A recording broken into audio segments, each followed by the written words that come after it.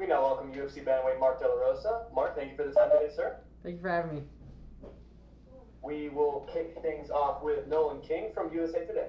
Awesome. Hey, Mark. Uh, appreciate the time today. And um, coming into this fight, maybe a little bit of a, a different feel than the last couple of fights. As if the world's in a different place. Uh, you're Yeah. fighting in an empty arena. Talk to me about how you're feeling coming into this one.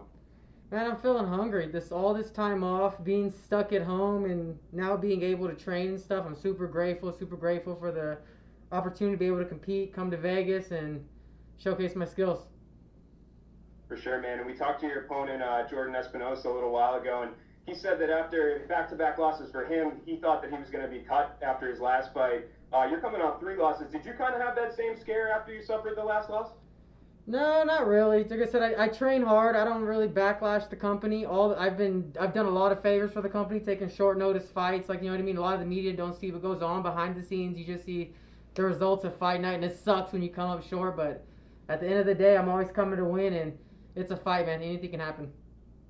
So coming into this one, do you feel any extra added pressure that you're getting this fourth opportunity that you have to perform, or is it just like you just said, another fight? No, I mean main thing for me, as far as like pressure for me is, uh, there's a lot of things I, there's a lot of things I, uh, I'm grateful for just being stuck at home and just seeing people suffer and seeing people not able to pay their bills and able to put food on the table and stuff. So, I definitely, I'm coming home with two checks come Saturday night, and I definitely, I'm gonna bring it. And you're in a unique position too, because uh, you know obviously your wife Montana is also a UFC fighter. So while you know uh, most fighters don't have that that type of situation in their household, so how nice was it for you to, to have the UFC continue despite when everything else is shutting down? Oh man, it's awesome. I'm super, super grateful for the opportunity, and I'm happy I was one of the chosen few. For sure. And, and my last question for you: uh, talk about Jordan Espinosa a little bit. The matchup. Um, you know, he's a guy who's been around. You've been around. What, what do you expect to see out of him come fight night? Uh, I don't see anything different from him. I don't see him a different fight. He fights the same every time. Super athletic, super jittery. I mean, he throws the same combos, dances, moves. Super athletic, exciting fighter. But I mean, I'm gonna I'm gonna try to impose my will and bring a pressure that he's never seen before. Appreciate the time, Mark. Good luck. Thank you. And we will take our next question from Gabriel Gonzalez with Cageside Press. Hey Mark, so I want to go back to it. You touched on, you know, you've taken those short notice fights and you felt like you were in a good spot. But, you know, with three in a row, can you just talk about, you know, what do you tell yourself? How do you get in that right mindset to not feel that pressure? Because obviously no one wants to be in that situation in their Hmm. career. Oh man, like I said, I'm just super, super grateful for the opportunity. I'm able to step in the cage. I'm able to do what I do, do what I love every single day. Like all I do, I'm, all I'm able to do is, besides all this quarantine and stuff, but I'm able to train, teach, coach, and better myself and better people around me. So, it just, just being grateful. I'm always grateful for the opportunity to wake up healthy and do what I love. Can you talk about your training? Like, how much were you able to actually get in the gym, even with limited people? Were you doing a lot of road work, just you know, around the neighborhood? Can you talk about what it looked like for you?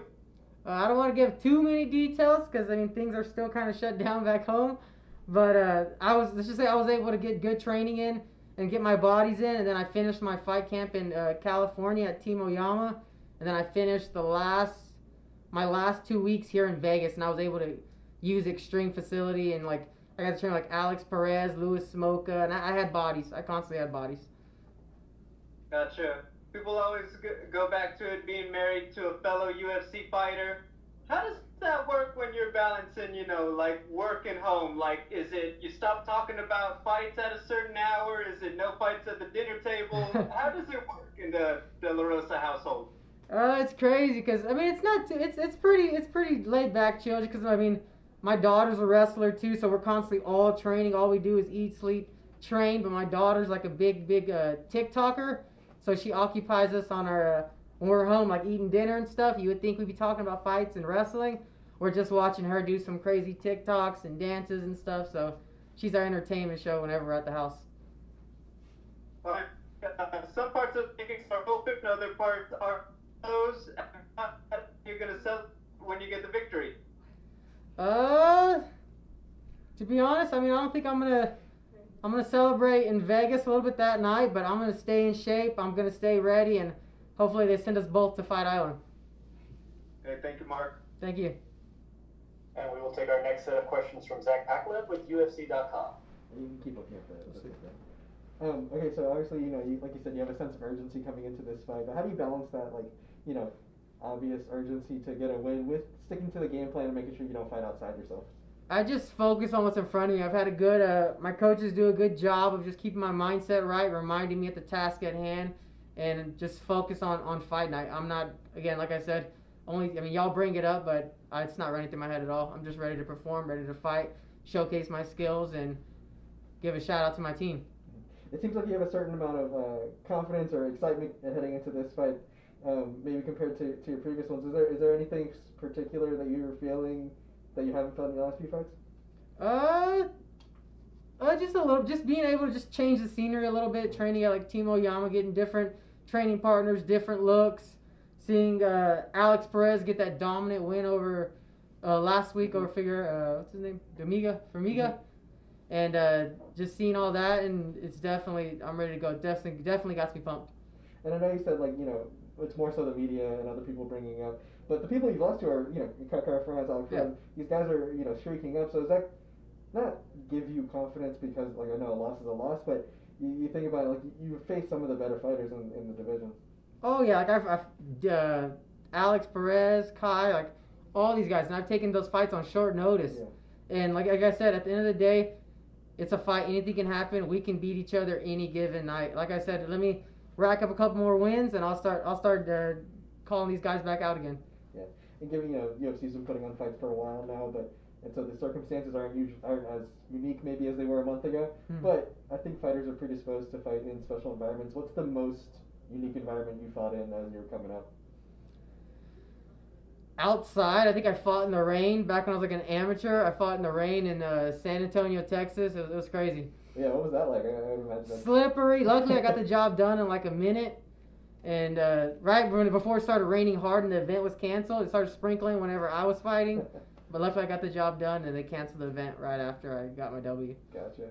So as you're walking to the octagon, there's not going to be a crowd. It's going to be the apex. It's going to have a little bit of a different look. Um, I don't know what your thought process is when you normally walk to the octagon, but what do you think it's going to be like when you walk into the apex?